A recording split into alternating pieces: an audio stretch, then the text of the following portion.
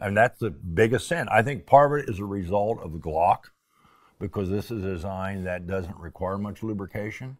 And everybody thinks that it transfers to every other weapon system, and it does not. I mean, I, you know, same thing. You take like an AR, great weapon, incredibly reliable, but they have to, they don't run dry. They have, you know, they may go through a magazine or two fine dry.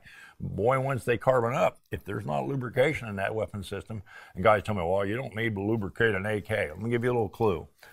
Uh, a little lube goes a long way in an AK, but I, again, I can tell you, bone dry AKs are not nearly as reliable as everybody wants you to think they are.